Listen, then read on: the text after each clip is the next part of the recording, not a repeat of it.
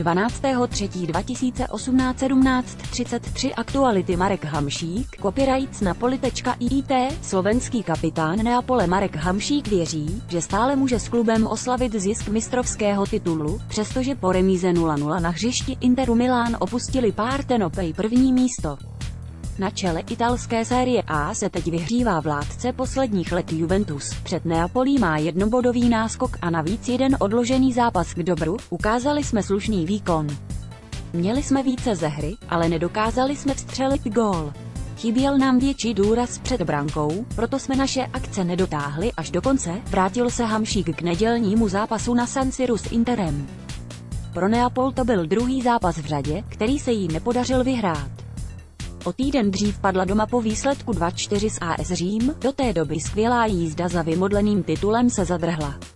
Kapitán Hamšík však stále věří, že Neapol může na konci sezóny poprvé od roku 1990 slavit s mistrovským pohárem nad hlavou. Spadli jsme na druhé místo, ale pořád je před námi 10 zápasů, to je 30 bodů, které jsou ve hře. Stát se může cokoliv, dodal Hamšík. V stejném duchu se vyjádřil i brankář Peprajna.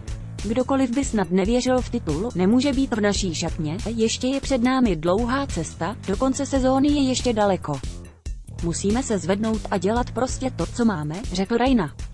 Autor Jiří Vyšara, Football spojovník Italia.net počet zobrazení 67.